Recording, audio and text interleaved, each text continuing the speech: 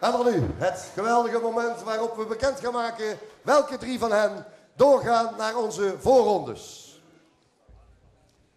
De vakjury van de voorrondes.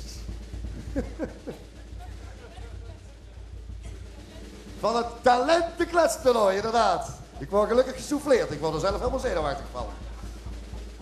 Hebben bepaald dat diegenen zijn die doorgaan. Niet in alfabetische, maar in normale volgorde. Twan van Oers als Hans.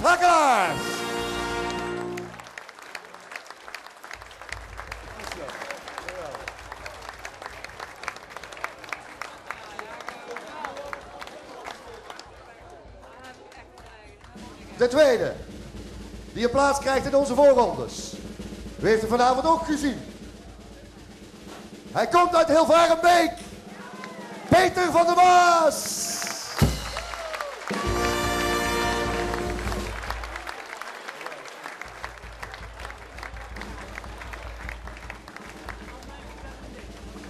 En een groot kletser. Gisteravond hier op het podium. Rob van Elst.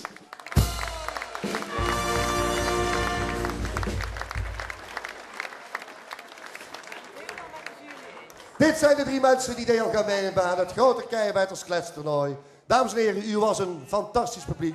Wij hebben het graag gedaan. Deze avond werd u aangeboden door de Keienwijters.